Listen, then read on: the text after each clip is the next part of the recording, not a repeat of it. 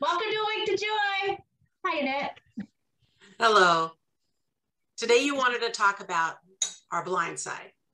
Yes, those blind spots. I think we all have them.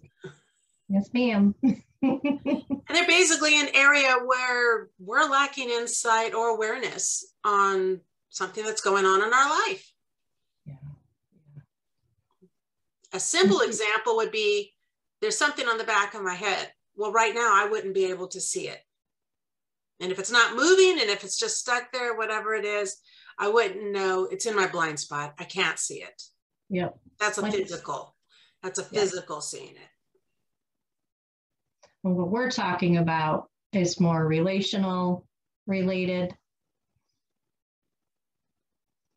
working with other people, folks around you, or even our own blind spot of our behavior, things that we are doing that are God's best. and so we're blind to those things.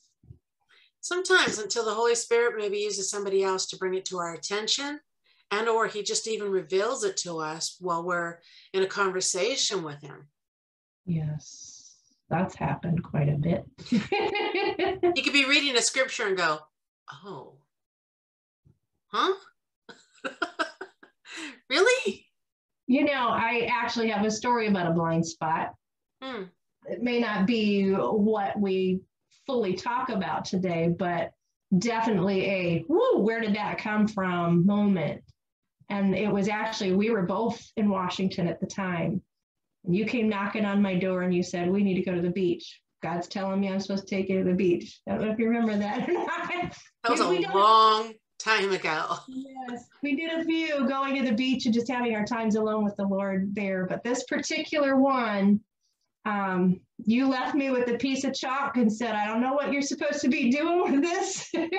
and you walked away and you just said, Have your time with God. And I was like, Okay, Lord, I'm here. Don't know what you want. And just started having this conversation with God. But I had no idea what that conversation was going to end up being about. And so I thought, ooh, there's all these rocks around me. What am I supposed to do with the chalk? And I just decided to start writing things on it.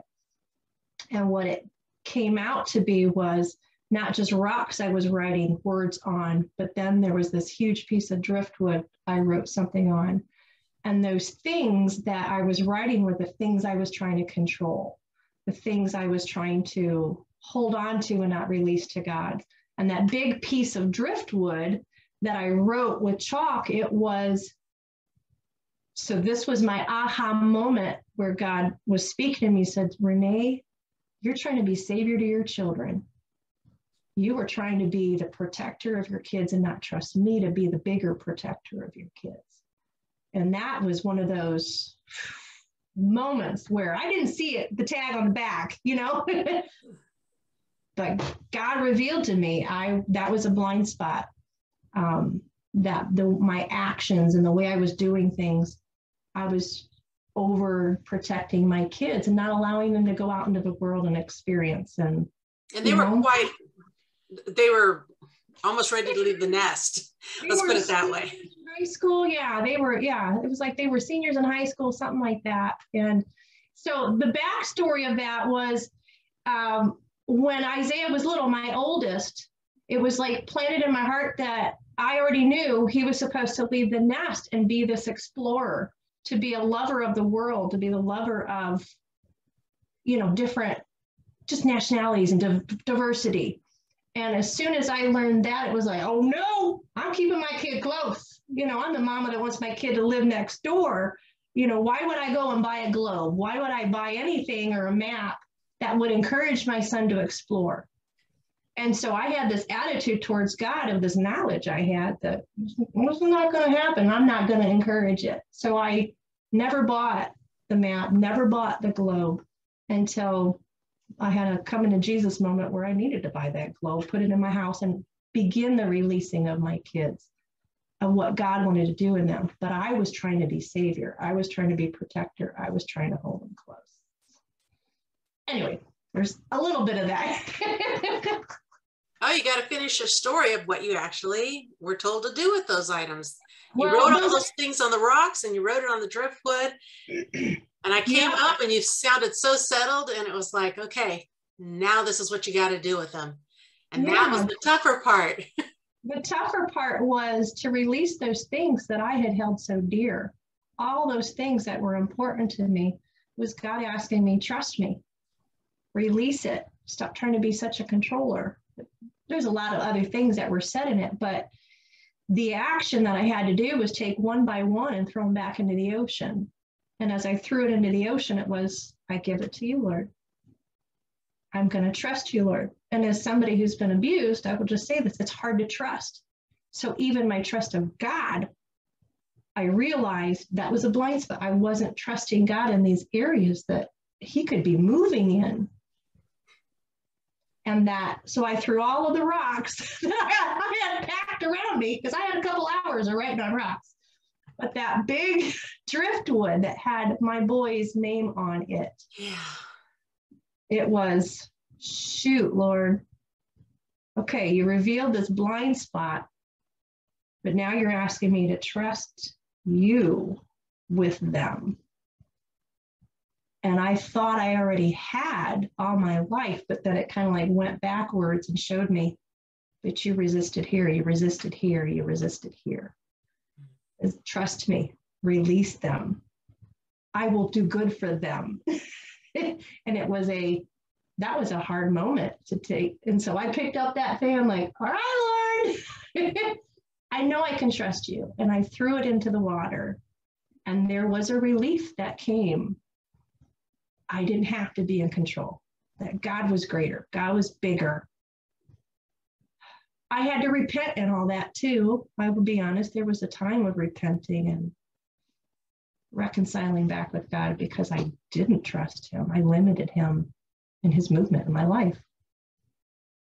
But things have been very different since that day. And I'm very grateful. So I'm still learning. Y'all are. yeah. But that was a huge moment for me. Didn't realize I was stepping in, trying to play savior. And didn't realize my blind spot till God pointed it out. So Well, there's the Johari window. Anybody can Google that. And there's the window of what you and I know, what you could see and what I could see. There's the window of what I could see, but nobody else can see. So it might be something private I have in my life you don't know about or whatever, but God sees it, I see it, it's in my life. Then there's the blind spot, which I can't see, but God can see. And in that window, it's so important to go, okay, well, I'm not going to worry about it. If God wants to show me, then I'll ask him to show me. And if he's going to show me, there you go. So I guess it always comes back to that asking God, do I have a blind spot? Or somebody told me I have a blind spot? Have you actually had somebody come up to me and let me know I'm blind in an area and I'm missing it and you're wanting me to pay attention? And you might have forgotten that somebody said something to you just off the cuffs and you just didn't pay attention. But mm-hmm. when you go to God and, and spend time with Him and say, bring it to my attention. Where, where is it that I have these blind spots so I can work on them? But don't worry about ones that He hasn't shown you or have not come to your attention in God's timing. It's not Mhm. something for you to be obsessed about, if that makes sense. Absolutely. Yeah. Don't be obsessed. But when somebody brings to you, hey, I noticed, I can't say I've always been receptive to it. It might not be the most wonderful thing to know that, uh, let's say you heard a whole bunch of people's feelings at a meeting and somebody at the end of the meeting, not during the meeting, because you just kept stepping on people's toes the whole meeting. At the end of the meeting, they come up to you and go, Renee, do you realize? And I know you, you'd be going, What? I had no idea. And you would feel terrible about it. That would be hard to hear. It'd be, you'd be in tears. I know you, you'd be in tears because it was something you didn't intend to do. Right. But at the same time, how thankful to know that somebody was told you.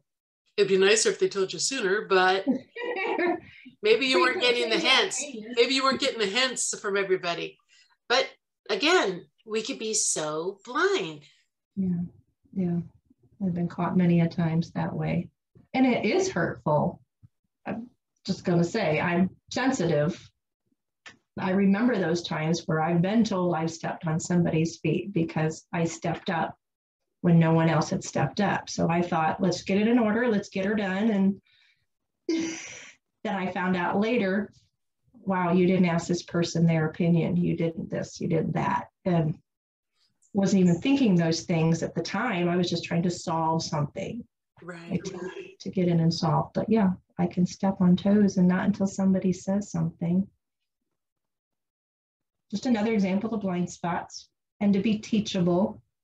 Yes. Important to do that. you know, it's hard because it involves our motives.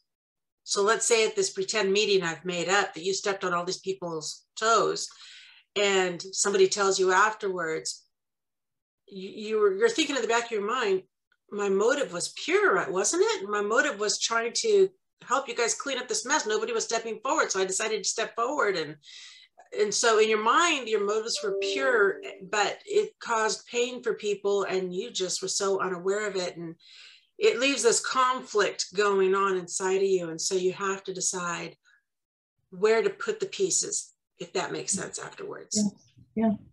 And not just go well that's it. I'll never volunteer i'll never step up again. That's that's not it. True. And we can be susceptible to that attitude because it is it can we can receive it very hurtful when somebody points out a blind spot. So if we're not teachable or moldable we can have a hard heart in regards to it and shut down and choose not to support a gift that we have you know be it a, i don't think that's what god intended no no, but sometimes that is a reaction that some of us have when a blind spot is pointed out. We're like, no. And then you shut it down and you're not teachable. And then that person never brings anything up again. Or that person, you've there's a break in the relationship because you think they're telling you non-truth. And I think that's so a perfect example with couples. Because don't you know certain things that will just irritate your husband or whatever, that type of thing, where um, my husband will go, gosh, if I mention that to her, she's not going to be very happy about it or whatever it is. And we got to make sure we stay supple and we not end up in that place type situation. As Eddie calls it, not that, to make sure that we don't respond with right. Yeah, yeah, yeah. Hmm. An open heart, open ears. absolutely. I feel like there's a lot more to this one. well, the blind side is a blind side, but let's keep this part short and maybe we could do a part B. I like that idea. All right. Talk to you soon.